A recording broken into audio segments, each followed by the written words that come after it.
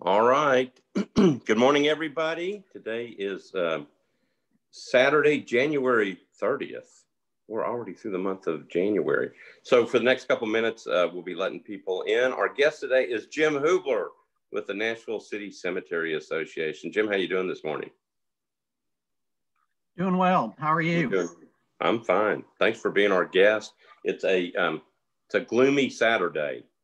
It's um, you know, I think it was gloomy most of the week. I remember it snowing at one point for about five minutes. We had a blizzard downtown. It was great. Then it stopped, and then the sun came. I was like, "What happened?" but uh, anyway, uh, we're welcoming people in. Let me ask you: uh, You have some interesting things behind you in your bookshelf anything interesting that we need to know about? It looks like uh, Raiders of the Lost Ark. It looks like you have a lot of uh, very interesting pieces back there. There are some interesting pieces. There's some Egyptian shabtis, the, the little tomb figures that were supposed to help you in the next life. Mm-hmm. There's a little uh, uh Greek uh, bronze. There's a Roman oil lamp, uh, some Chinese ceramics, lots lots of esoterica. so while we're, uh, things. While we're waiting for uh, most, we'll, of, most we'll of the books are art. Oh, are art books. Go ahead. Um, so did you? Um, yeah, art like, and architecture. Like Raiders of the Lost Art, did you go out and uh, accumulate these pieces and you know rob them from ancient vaults and you know have that kind of life, or did you just get them in other ways? nothing. the uh, the Roman piece and the the Greek piece, I was in a bazaar in Albania where they don't have any restrictions on export, and just bought them in a shop. How interesting. All right. Um, well, um, and um, for those of you just joining, we're having a little bit of feedback problem, but we'll get through it. Um, let's go ahead and start.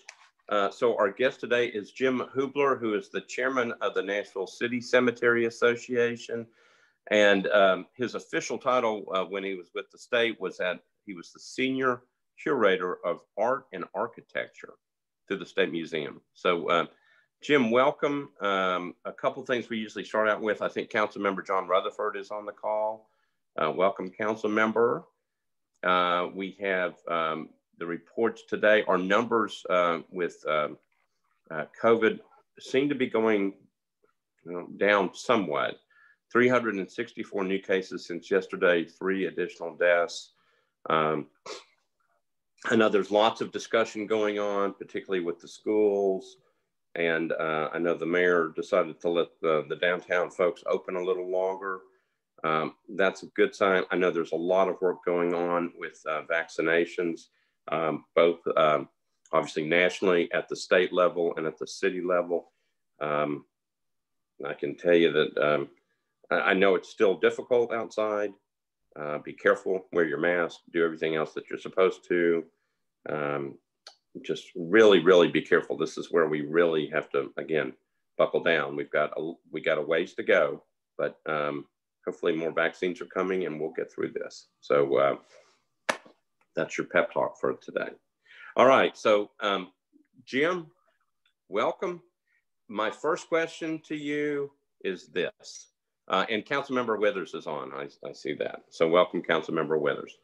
So Jim, uh, tell me, um, tell me about yourself.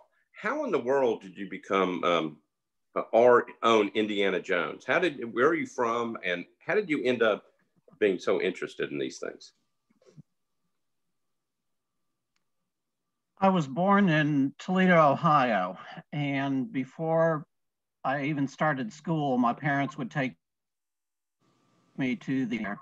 and it's it's an encyclopedic collection. It goes from antiquities like Egypt and Babylon up to the present.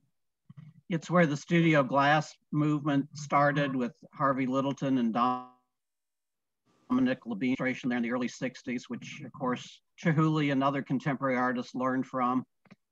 And I just, we went to a church there that was in a unbelievable Victorian neighborhood with these huge mansions with enormous enormous carrots backyards. So I, I, loved art and architecture even even before school. And uh, When I was 14, my dad got transferred to Atlanta in 1964, which was an interesting time to be moved to the deep south. It was the year of the uh, Civil Rights Act, uh, huge demonstrations all over the country. Uh, they still had segregated restrooms and water fountains in Atlanta uh, as a reaction to the state they were building the world's largest Confederate memorial on Stone Mountain, the place that the Ku Klux Klan was reborn at. Um, and then in 72, I came up here to do graduate school at Vanderbilt and worked at the Library and Arts. Uh, got a call from a friend, Dick Wiesner, who said, we want you to come to work and be the director of the Tennessee Historical Society. I said, great. so I did that for 10 years and uh, lobbied to have the Capitol restored. Was named by the House chair. They created a position of curator of the Capitol and I was put into that position. And then uh, Lois Riggins Ezell, the director of the State Museum, also asked me to be the uh, curator of art for the State Museums to the title you gave, Art and Architecture. So uh, go back, tell me the name of the place in Toledo that you would go visit. What was it a museum? The Is that where you would go? Toledo, mm -hmm, the Toledo Museum of Art. Okay. And is it still up there, Jim? Oh yeah, yeah. I mean, if anybody's doing a major exhibition on a um, like El Greco, for example, when the National Gallery and the Prado put it together, they borrowed Toledo's piece. Okay. All right. Um, so I'm going to write it down. That's a place that I need to go visit. I don't think I've ever been to Toledo. Um, anyway, okay, I'll mark it down. Okay, so before we get into um, the city cemetery stuff, tell me, um, as being kind of the curator of arts and architecture around the Capitol, tell me something interesting that maybe we all don't know. I know that we know that Strickland was is buried in the side. Anything interesting that most people wouldn't know about about the Capitol that that you would know about because of your position? Well, it's a national landmark, and I think it, it's that not only for its architecture, but its history. It's one of the few pre-Civil War capitals that still functions in there the governor, comptroller, treasurer, secretary of state. Uh, it's where Tennessee left the United States when it seceded from the Union.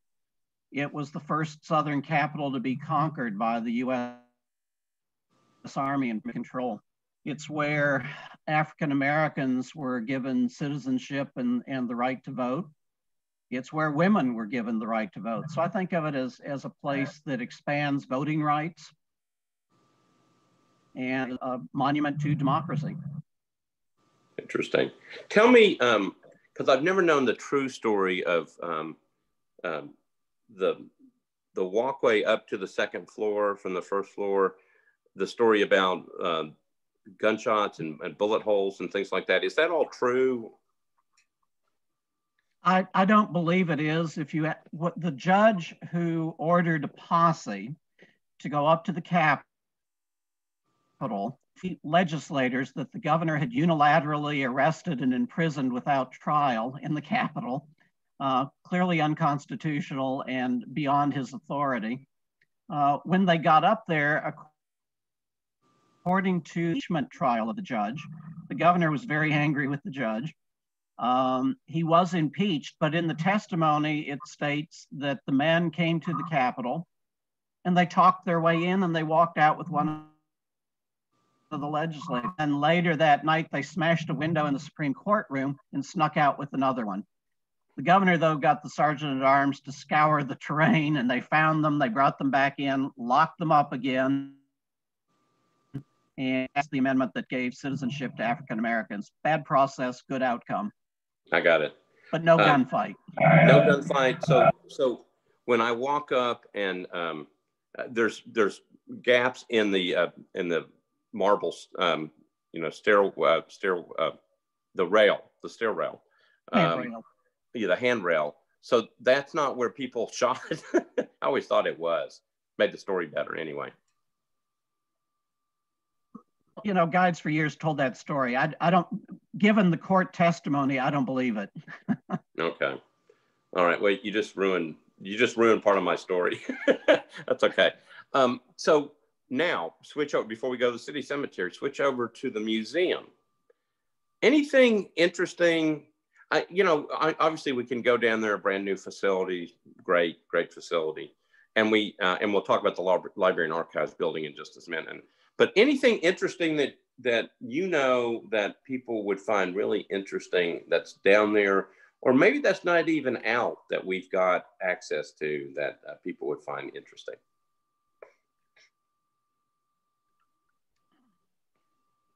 One of the things that i love was the old Belle Meade theater. And when kermit stengel was getting ready to develop it as a bookstore he called me and said jim do you want the wall of fame. Absolutely. Um, and every time there was a uh, movie premiere in Nashville and they'd try to get one of the stars or producer down, they'd take a picture of them and put it up there.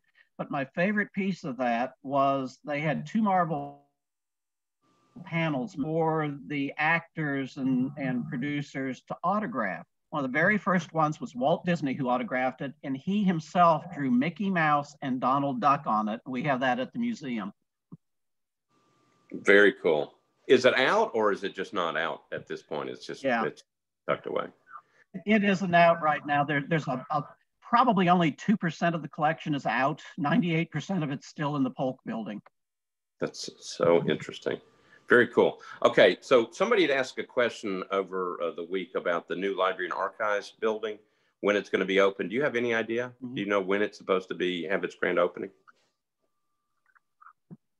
They don't have an official date, but it, it's scheduled to open and it is on scheduled to open in April. And they're beginning the process shortly of starting to move everything out of the present building into that building. Okay. All right. And I don't even know, are they going to have, um, I know it's full of information, but are they going to, do they set up the new building so people can have a better place to access the information and um, you know, have a place to sit down and study and things like that? Looks like they've got extra space. Oh yeah. Yeah. Okay. They have um, photographs of them installing the uh, the research tables and desks in there, and they've got a very robust website where you can go online and do research as well. All right. So Kim Hinton, who's the, uh, an architect, uh, is um, saying that mid-April is when they're going to open up, and that they are going to have plenty of rooms up on the second floor for people. Yeah. So um, thanks, Kim. That's and good. parking. And parking. That's even better. All right. Well, I think everybody's going to be looking forward to that. So you have the museum down there and uh, library and archives. It should be really, really a, a great place to go. Um, okay. Take us to the Nashville City Cemetery. How, how, uh, from what you understand, how did it get started? And um, how many people are in there? And who is in there? Who is in that city cemetery? And and and maybe first, well, e- explain where it is, so that if people have no idea, most people, a lot of people never knew it was sitting there. But uh, tell us a little bit about the cemetery. Okay, and and I'm glad to see Carol Bucy, our county historian, is here, and she and Carol Kaplan wrote through the cemetery, so we've definitely got a major expert here on it. It it opened in 1822 as the first public cemetery in Nashville. Uh, there had been a burial ground, we believe, over street that they moved burials from. Um, there are approximately 22,000 burials in it. And of that, about 6,000 are African American base. And interestingly, before our state constitution was changed in 1834 and started really ratcheting up segregation in the state, um, anybody could buy a lot anywhere. So African Americans were, were, people in the cemetery. Um, I think one of the most interesting graves out there is Sally Thomas. She was a slave from Virginia whose own owner's brother. So the owner sent her to Nashville and she started a laundry here and uh, was saving money from that to uh, buy her children's freedom and succeeded in um, the freedom of one of them. Another one was freed by the uh, the riverboat captain who he worked with, and the third one, when her owner, their owner, died, um, told her to run for your freedom, and he he ultimately did get away. But uh, Fletch Coke is a great researcher, and she found where the grave was, and the city cemetery uh, paid for a new tombstone for Sally Thomas. And Franklin, the great uh, historian, wrote a book called In Search of the Promised Read. It's Sally's story. Hmm. Sadly, the, the first Chief Justice of the Tennessee Supreme Court, Catron, also got her pregnant. And interestingly, in the uh, Dred Scott decision, where he found that African Americans are simply property, he in effect ruled that his own child, human, he was just property. So we didn't hear some of that. So tell me again. Uh, um, all right. So Sally Thomas buried there. Got that. Um, the city cemetery got her a new headstone. Um, but um, there's a book you were t- you gave me the title of a book, and I didn't get all that completely. What's the name of the book? In in search of the promised land. In search of the promised land. Okay. And then the judge that got that impregnated her was a was a judge with uh, Tennessee Supreme Court. He was the first Chief Justice, John C. Catron, and okay. Jackson appointed him to the U.S. Supreme. And up there in the Dred Scott decision, he found that his own child was simply property, not human. Okay, very interesting. Okay, so um, a lot of people know that the the city cemetery, which um, the easiest way to get to it is off the interstate and take Second or Fourth Avenue and head um, south. Uh, and it will be, um, it's just right there. You can see the, the main entrance is right, kind of right on Fourth, correct? Right, at Fourth and Oak Street. It's on the right as you're going south before the railroad tracks. Yeah. And uh, that's interesting. Before, when the railroad was run through there, uh, right before the Civil War, uh, um, became an occupied city and they built Fort Negley on top of the hill right next to the cemetery. The federal government used that land across from the railroad tracks as burial ground for thousands of federal troops. And, and following the Civil War, uh, they exhumed them and started the National Cemetery here out in Madison. Interesting. Okay, didn't know that. So uh, Carol Bucy, I know is on the line. She said that there are no hidden tunnels under there that where people would escape. No, Nashville's solid bedrock. We'd, we'd have to have some pretty enterprising gophers to make tunnels all through that rock. All right, that's what she said. So I'm just making sure that um, that everybody's on the same page. Tell me, uh, our founding fathers for Nashville are they in that city cemetery? And who are they? Who's in there? James and Charlotte Robertson are there. They were relocated there about 100 years ago. Uh, but he is, of course, one of the founders of Nashville. There are a number of other pioneers there. Um, there are soldiers from the Revolution, the War of 1812, the Seminole War, the Mexican War, the Civil War, right up into the century wars. Uh, so it, it's like a living history museum of our history here in Nashville. It's an open air museum and there are interpretive panels out there and you can read the histories of the people interred there. Okay, so if if somebody really wanted to um, to go to go explore, to go to, to go see this open air history museum, what's the best way to do it? I know, uh, and you can talk about some of the stuff the city cemetery does, but if you wanted to go just go tour, you're, you're allowed to go in. You don't have to have a special ticket or anything. The, the, the gates are open, correct? Correct. They're open from about dawn till dusk. And there you can either just walk through the cemetery and read the interpretive panels, or there's an app you can download on your, your phone and get a guided tour of the and of course, in the fall, we hope with, that COVID will be gone and we can do the Living History Tour again in October. Okay, so tell folks about the Living History Tour. How does that work? There are uh, individuals who portray the people that are buried in the cemetery, and it, it's sort of a first person narrative. So, for example, I was uh, William Carroll at one point. So, as William Carroll, I was telling Murray, and I had the biggest monument in the cemetery, and the state of Tennessee put it here. I fought alongside General Jackson at the Battle of New Orleans, and I commanded the Tennessee troops there. I brought the first steamboat to Nashville, and I named it for my friend Jackson. I beat Opryland to the punch with that one, but it was the very first steamboat on the Cumberland River. All right, so people can just walk, can, can go into the city cemetery and they can walk around and there, there will be markers and, and things. I know there's also the little, um, uh, it's like a little maintenance building in the middle. Is there anything on there that's helpful in terms of kind of understanding what's around? There is a uh, computer there, but Wi-Fi is sort of spotty. So I, I would recommend using your own cell phone and uh, the app that you can download to get a, a, personal tour of the cemetery with with people reading stories about that are there in the cemetery. Okay, so people can go on their own, or they can do the the living history tour. Um, all right, tell me. Um, give me an uh, well you can tell me what your favorite um, either monument or grave marker or whatever. What's a really, uh, give me one or two that are just really, really interesting. I've been in there. There's some pretty unique things that are in that facility, in the cemetery. Yeah, yeah.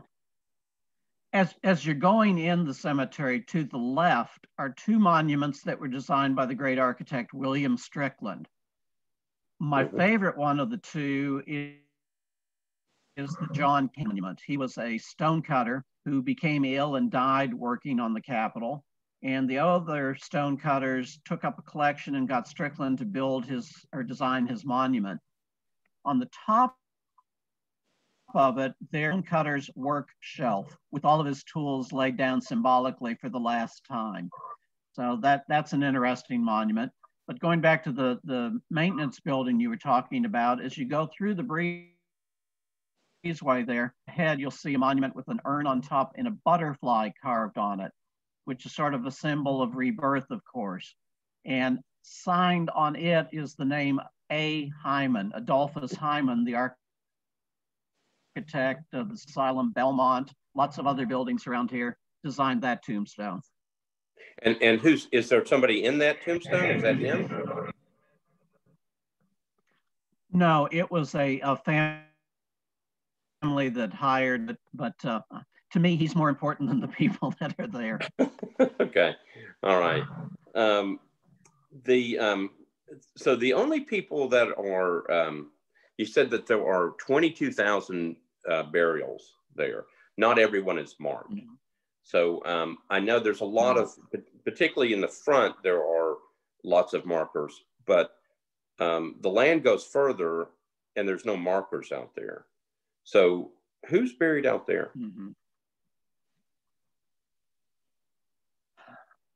The inventory that we have of who is buried there, the interment records indicate the, the 22,000. That area is in its area uh, topographically, so it, it probably periodically was, was flooding.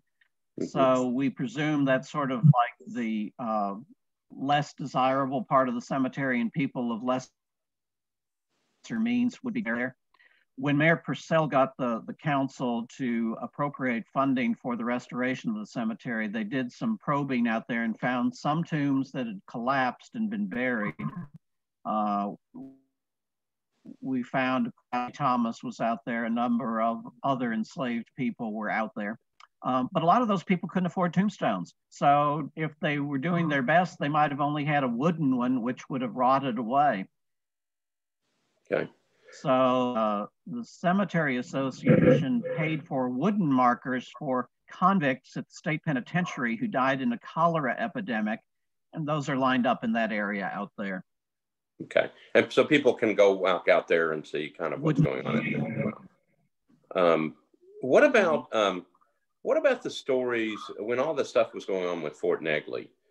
Uh, we knew that there were people, or at least the stories were that there were people that were buried on the on the, the sides of Fort Negley. Um, were there other people that were buried in the city cemetery that were also involved in the construction of the fort? We don't believe so. It was a, a public cemetery um, and they were selling plots. We don't think they were burying the enslaved people that, that died working on building the fortifications in Nashville. The probability is they're buried on the slopes up there. And the Historical Commission is, is seeking additional funding to do some archaeological studies up there. Um, Zeta Law is a friend of mine, and she's she's been doing some uh, research up there. They're trying to, to if there are burials and if so, where they are up there to to honor the dead that that are probably on the site. All right. So the and the only the people the only people who, who are allowed to be buried now in uh, this city cemetery are people who have have family plots or are descendants of the people in the facility or in the cemetery.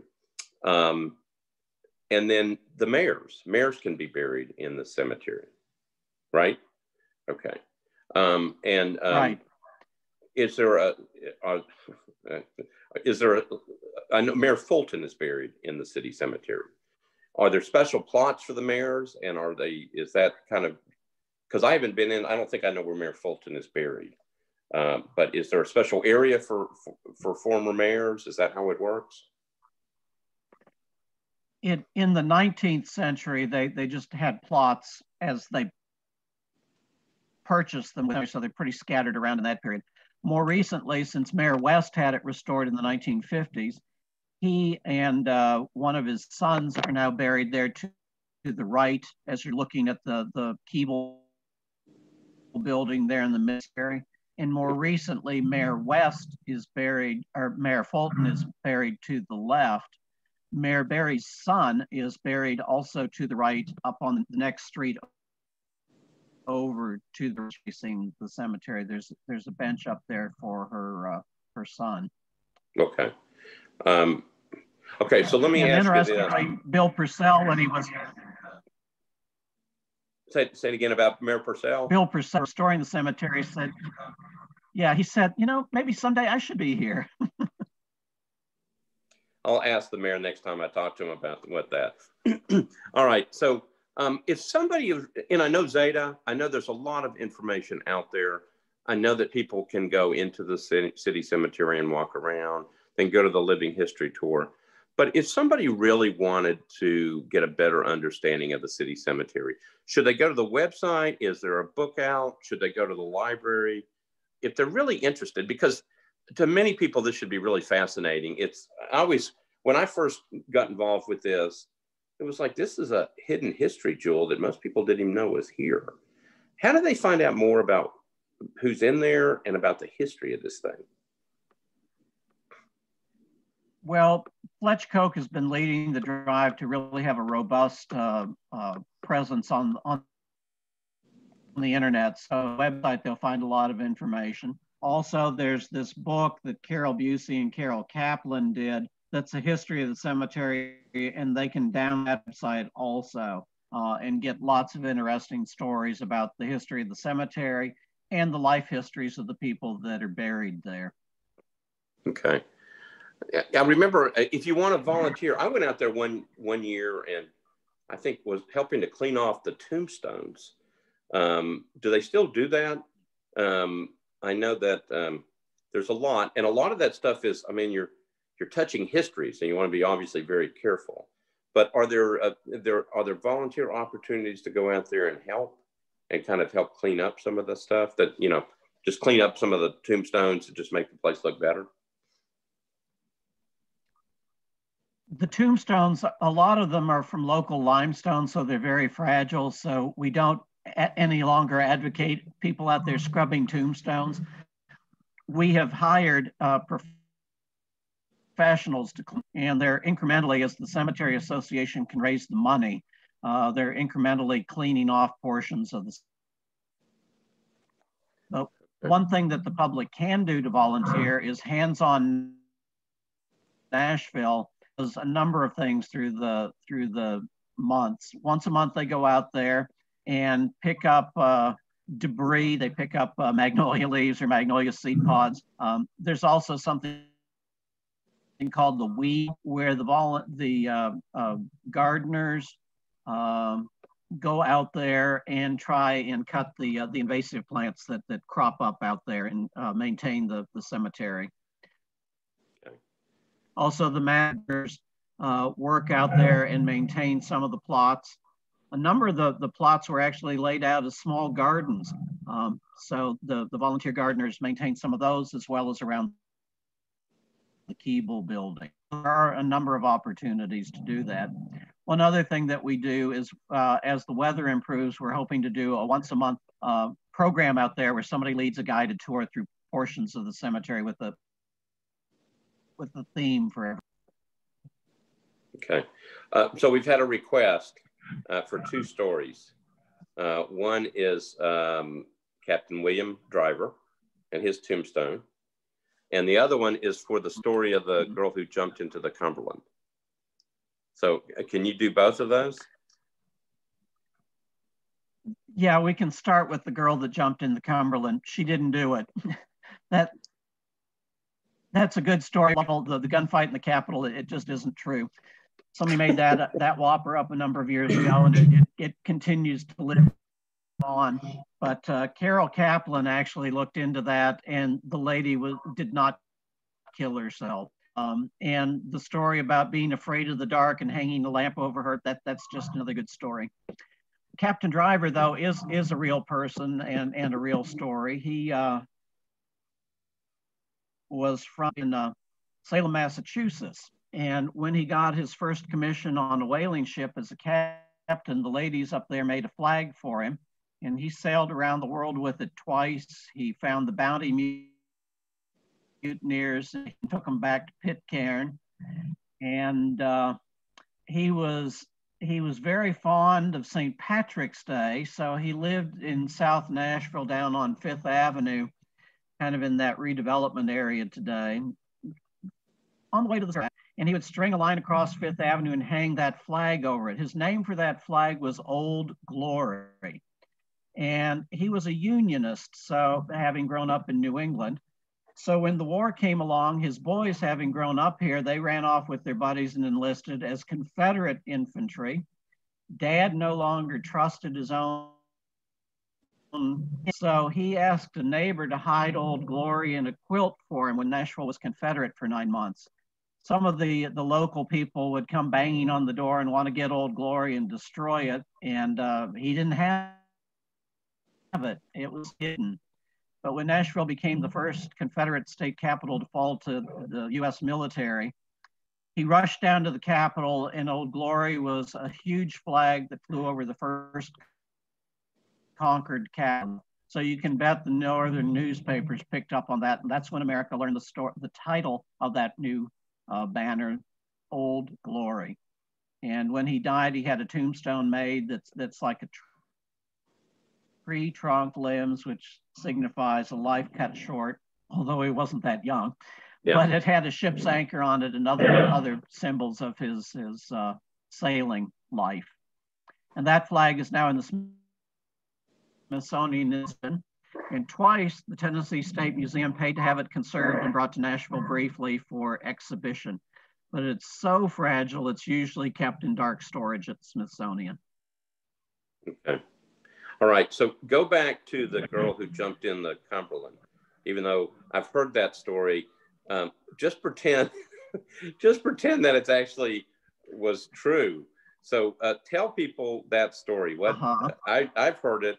Uh, just um, just go ahead and tell us uh, as if it was a good story. Well, it is a good story. It, it just isn't true. Uh, supposedly, her her beau married somebody else, and she's grief stricken over that, and threw herself off a rock into the Cumberland. And supposedly, that rock with the light on it is the rock she jumped from. And he was sorry about it, so he knew that she was afraid that a lantern hung over it at night. It, it, it's a good story, but it isn't true.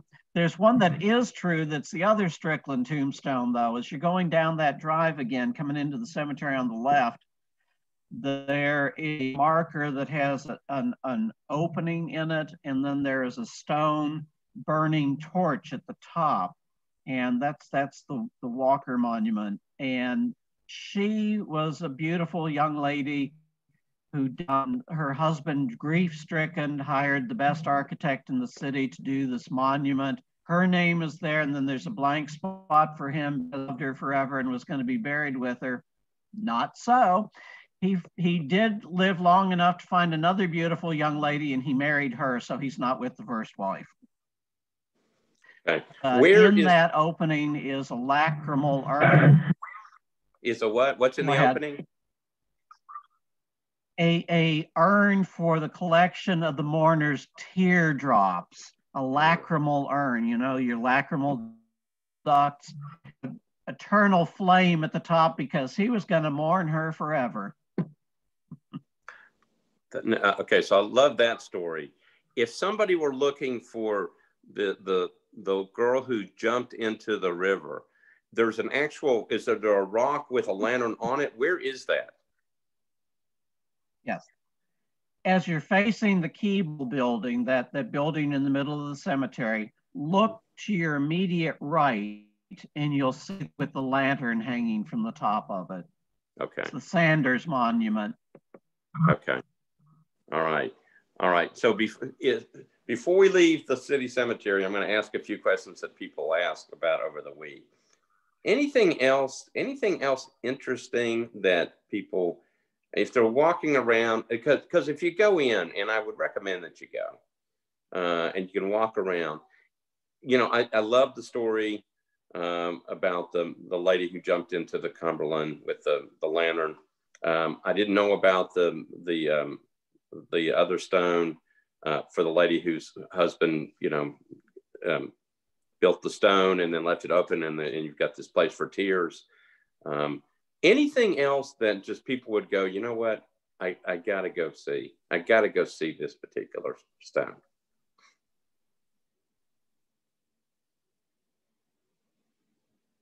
Lad ones is again, as you're coming in the main drive and you look off to the right, you'll see some big magnolia trees. Under one of those is a little tombstone for a, a child who died, a very young child, probably an infant. And symbolic over it is the blanket for the night so the child could sleep warmly through the evening. Uh, one of the more interesting ones, we think of Victorians as being so prudish, as you go up to the right uh, and up towards the top of the hill, there is a marker with a couple spooning in bed for eternity. And you don't think of something from the 80s or 50s being that uh, depicting that graphically. the Victorians were a little bit prudish about things, and uh, actually, a couple spooning for eternity is something you you're surprised to see in a cemetery. And and where exactly is that one? Where is that one? I don't think I've ever seen that one. I'll, I'll show you someday. It, as you go in the main drive, it it's up the hill two feet. and it, it's sort of smallish. Uh, again, because it's limestone, it's eroded pretty badly. But if, if you look at it, you can figure out it's a husband and wife together. All right. The next time I go in there, I'm going to go try to find it. All right. All right. Let me ask you a couple of the questions that came in over um, uh, the week. Your favorite book about Nashville? You obviously showed us the book about the City Cemetery Association somebody asked, what, what's your favorite book? If you want to study the history of Nashville, what would you advise them to do? A, a good introduction would be the book John Egerton wrote in 1979 for the bicentennial of Nashville. And uh, John asked me if I'd work on the book with him, and he wanted to do five 40 year increments and wanted me to work on one of those. I told him, John, I'm interested in the whole history. How about if I pull together together all of the illustrations for the 200th anniversary and he agreed so every every week we would meet and he would tell me what he was writing about and then i would tell him about things in private hands or public collections that would make great illustration books. So that was a lot of fun. And it, it's a great read and is a, a quick read on 200 years of Nashville history. Okay. It's called Nashville, The Faces of Two Centuries. The Faces of Two Centuries. Okay. All right. Uh, somebody wanted to know what your favorite piece of artwork was. Maybe they know something that I don't, hmm. but they they wanted to know if you had a, a favorite piece of artwork about, I assume about Nashville. I, well, I do. It's one of the pieces that I acquired from a good friend, uh, Ridley Wills. It's mm-hmm. called Toqua, which was a Cherokee Indian town, the, the 18th century over in East Tennessee. And the, the Duke d'Orleans and the Duke de Montpensier, his brother, came uh, fleeing the reign of terror in France, where their father guillotined after the revolution, which was ironic because he'd supported the revolution. Um, but they fled to America. They met with President Washington up in uh, Philadelphia, and he gave them some tra travel tips to Americans. So they came to see the Cherokee in East Tennessee. And the Duke de Montpensier sat on a, a, the top of an ancient ceremonial mound and did sketches of the Cherokee town. Uh, when they returned Europe, they were living in Britain at that point because Napoleon was in power now.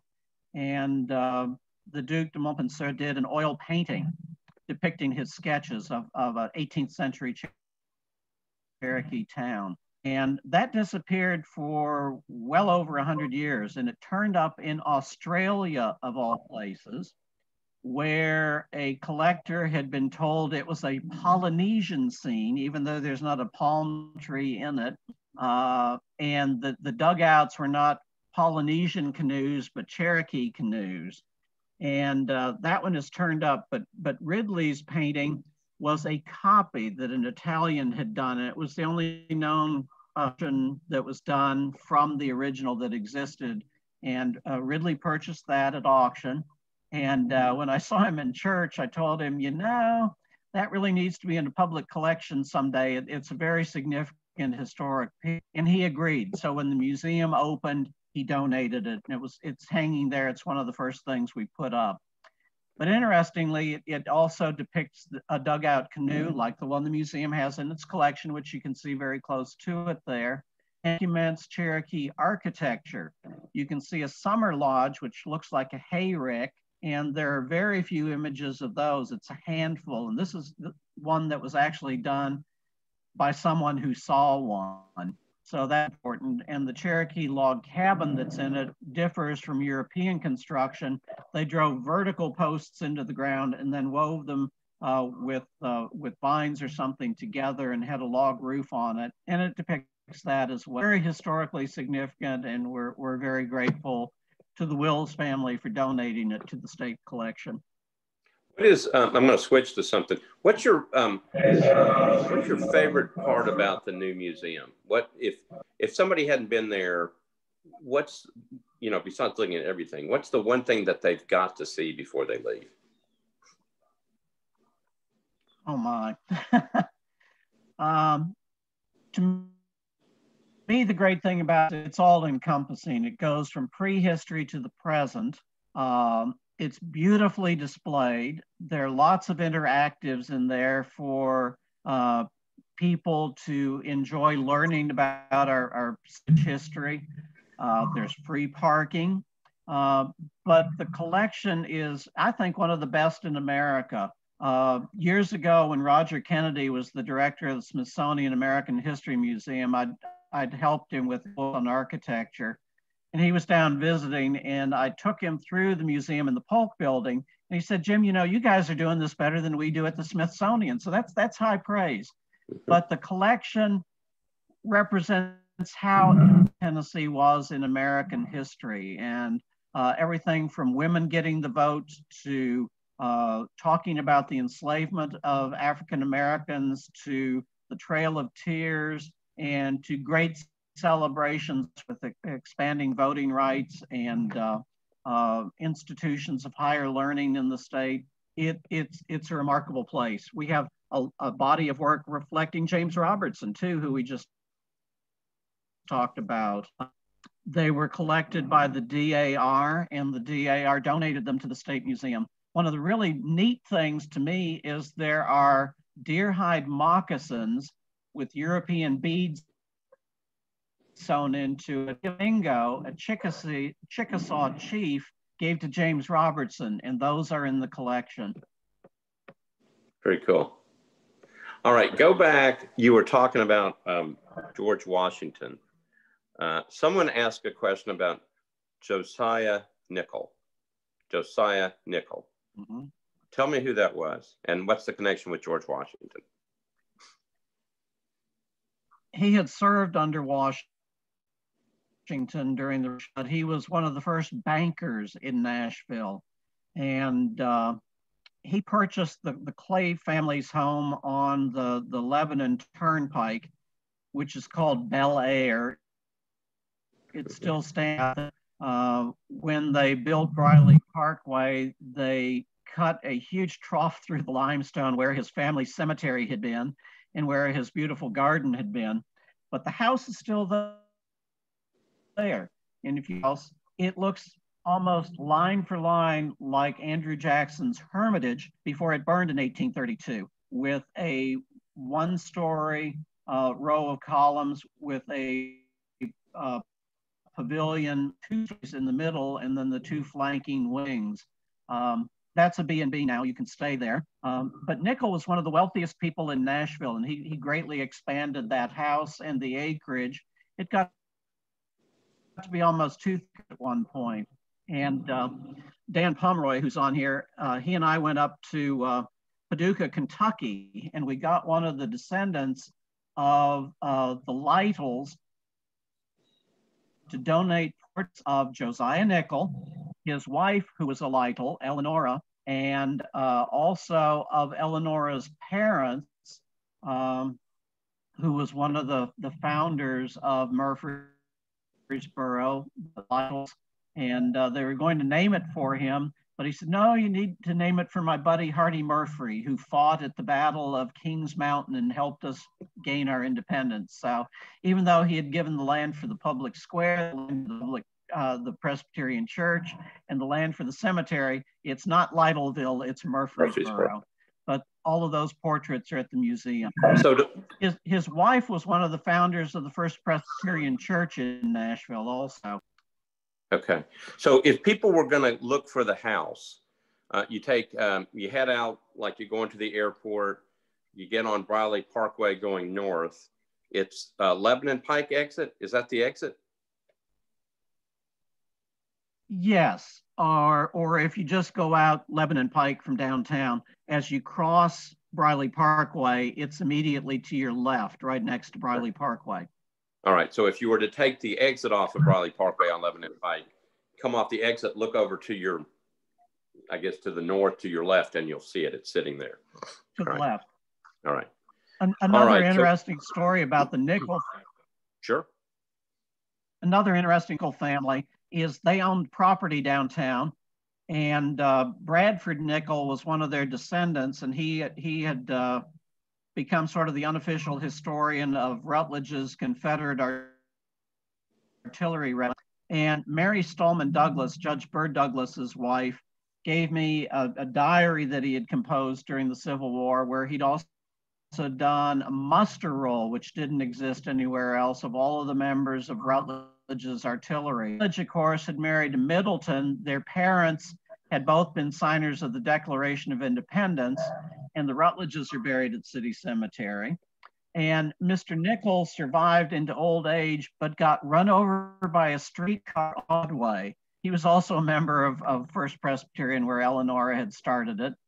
And that property the Nichols owned, when um, Caldwell and Company wanted to acquire their property. The, the said they would sell it to them, but only if they put a sign over the door saying that it was the Nichol building. Well, Rogers Caldwell was, was a shrewd old bird, and uh, in a big archway, he carved raw uh, County right over the entrance, and 12 stories up in a tiny little sign that said Nichol building. Very good. I don't think I knew that story. Very interesting. Um, all right, so we have we have just a few minutes left. There were a couple of questions about Second Avenue, and I know that doesn't have anything to do necessarily with the city cemetery, but tell us um, tell us what you can about the importance of Second Avenue, the history behind it, and um, and why it's going to be so important as we rebuild to try to keep some of that history. Well, it, it, if you've ever read The Grapes of Wrath, there's a great scene where Ma Joad is, they're, they're packing their, their one vehicle and they keep bringing all of these things out and, and uh, she is insisting they go in the car, but there isn't room and they keep throwing them out. And she finally says, how are you going to know who you are if you don't remember where you come from? So the importance of connections to the past and, and sharing our history and story are very important. And Second Avenue is the birthplace of Nashville, where Church Street turned at the river, Fort Nashboro was built. And it ran parallel with Church Street, not along the river, but away from the river. And there's a building at Second and Church that uh, uh, used as his distribution warehouse. It's still standing. It was a candy factory at one point. And in the basement of that building is the spring that was the water supply for Fort Nashboro. So the city was birthed that land that is now part of the commercial heart or was the commercial heart of the city with all of those warehouses backing up towards the wharf where the riverboats would come up, they'd unload their cargo, they'd bring it into the ground floor onto the sales floor and upstairs for storage. So that's, that's our commercial heart, that's our commercial history, that's the founding of Nashville. Uh, right around the corner from there at, uh, I believe it's is where Timothy de lived, the first European that lived here. And uh, it, it's just an integral part of our history. And the Metro Historical Commission, the Metro Zoning Commission, Historic Zoning has formed a task force. Cyril Stewart, who is on this call, is the head of that task force. And they hired engineers who found that all of those buildings can be reclaimed, even the one that's destroyed. You can put back the facade in place. You don't want to lose the architectural rhythm of that street with, with modern structures. Like in the 1980s, when a developer from Alabama wanted to destroy an entire Bank Street and, and Church Street and First and Second Avenues. Metro told them no. And one night, the entire block strangely caught on fire simultaneously and burned to the ground. The fire marshal, the source of the fire was cryptically out of state. uh, but that whole block is gone. They wanted to put a 21 story tower there on uh, historic Second Avenue. Historic Historical Commission fought all of those developers that wanted to level the entire street in the 70s and 80s. They prevailed. Mayor Fulton was a big part of that. At one point, they were talking about tearing down the Ryman House, tearing down Union Station, tearing down the Hermitage Hotel. And fortunately, we have preservationists in this town who are, are willing to stand up and fight those things. And I think we will, will prevail this avenue. So there was a question that came in about um, were there slave trades on Second Avenue back behind the wharf? Is that uh, not a good part of our the, history? But the slave market the market was at uh, the corner where the bus station is now downtown uh, at Third and uh, Charlotte. And in the State Museum collection, there's a slave trader's business on the upper left corner. There's an engraving of them selling or human trafficking there at the corner, selling people. And you can see that shrine of democracy, the Capitol in the background. Uh, but the slave market was down in there, which interestingly, the city got away from slavery and morphed into some form of, of quasi freedom for African Americans. That became an African American business district. The Duncan Hotel evolved into the segregated IMCA, as they called it, and there were African American businesses along the street there. Um, so it, it, it's a historically African American business district, and the still the one cent savings and loan bank building is still there, and, and Metro is looking at trying to repurpose it now as well. So it's That's the right last the, remnant of that African American business district. Right, that is right on the corner. Of, right on the corner there. That's right. Um, all right. Bird and Charlotte. That's right. Um, well, so I we are pretty much out of time. I will ask you one more question. Um, this came up with um, I guess when we interviewed Carol Bucy, who is on this call. Um, but the idea was about a place to a place to put our Nashville history. A lot of it goes to the State Museum at this point. I know they've got a lot of different things floating around uh, of ours that are there. Uh, we talked to uh, Ken Oliver. They've got some pieces of Nashville history. But the idea was to have one place where um, there is so much history that Carol talked about, that Ken has, that you talked about today. It'd be nice for visitors that come here, uh, besides going to the honky tonks, and we we like them. We like them to go to the honky tonks, but um, we see people walking around the Capitol, going to the going to the Bicentennial Mall, a place where you can get history. And so there was discussions after the Carol Bucy call to pull in some people to actually start renewing those conversations because I know they've been there in the past. And I mentioned it to the mayor. Uh, would you be interested in serving on something like that? Sure, but it's going to be a hard lift because the um, in here, John Haywood, who had people go out and do oral interviews of some of the early pioneers. He and Ralph E.W. Earl, the first painter professional artist to come here. They did archaeological diggings that were destroyed later out where uh, the Bicentennial Mall is now. But they started the first museum this side of the Appalachians down on the public square, Ralph Earl's Museum. That collection evolved through the years, the Historical Society, and that is now in trust with the State Museum. That collection was begun almost 200 years ago. So most of the really great early stuff is already in a public collection at the STEM.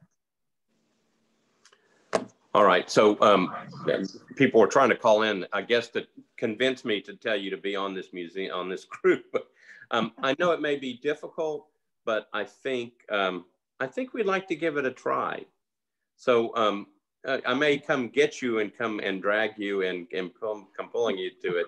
But um, I got Carol to agree.